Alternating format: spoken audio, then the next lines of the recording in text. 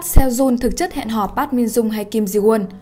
Mối quan hệ của Park Seo-joon, Park Min-jung từng được miêu tả là cả nước biết đến họ hẹn hò, chỉ họ nghĩ là không ai biết. Mặc dù luôn chối đầy đẩy mỗi khi được hỏi đến chuyện tình cảm, nhưng với những bằng chứng đáng ngờ, netizen không thể không nghi vấn cặp đôi thư ký Kim Sao Thế đang ở trong một mối quan hệ bí mật.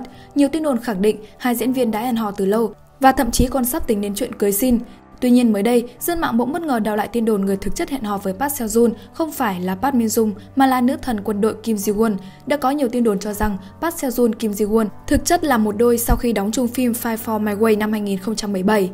Thời điểm đó, tin đồn hẹn hò của cặp đôi đã được lan rộng sau khi Park Seo-joon viết dòng chữ Era anh yêu em trên kịch bản, trong khi Era là tên nhân vật của Kim Ji Won. Ngoài ra, nhân viên đoàn làm phim cũng tiết lộ cả hai có những nét giống nhau từ phim đến ngoài đời nên dần gắn kết và thân thiết với nhau.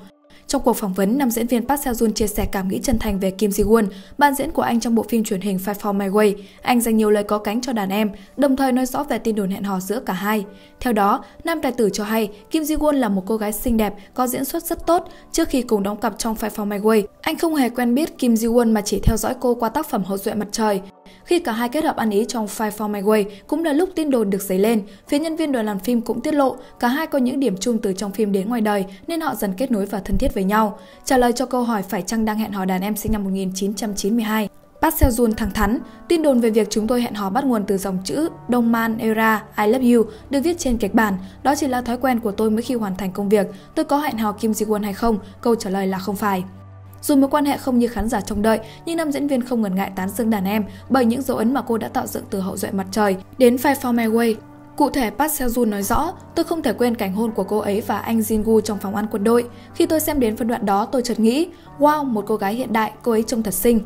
Trước khi hợp tác làm việc chúng tôi từng gặp mặt và cô ấy lo lắng khá nhiều bởi lẽ đây là vai chính đầu tiên của bản thân. Cô ấy không ngừng bồn chồn nhưng điều này dần biến mất khi chúng tôi nhập vai. Trong quá trình quay phim, chúng tôi không có nhiều cuộc đối thoại giữa nhân vật Era cũng như Đông Man. Bên cạnh sự lãng mạn, cách phát triển của mỗi nhân vật cũng rất quan trọng. Cô ấy trải qua nhiều cảnh quay đêm và cô ấy đã thực hiện rất tốt, điều này khiến tôi vô cùng ấn tượng.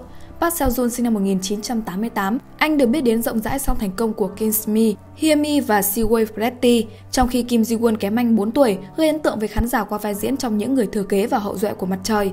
Dù phủ nhận tin đồn hẹn hò, nhưng với tình trạng độc thân cùng tính cách thẳng thắn giống nhau trong chuyện tình cảm, cả hai được mong đợi sẽ sớm rung động và trở thành đôi trai tài gái sắc tiếp theo của làng giải trí xứ Hàn.